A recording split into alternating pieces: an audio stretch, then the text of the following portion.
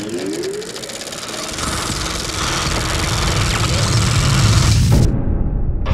first question to you tonight what is your name?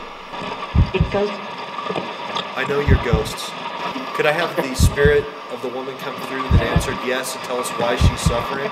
She's consent? She's possessed. Is this your lover? One of these women, your lover?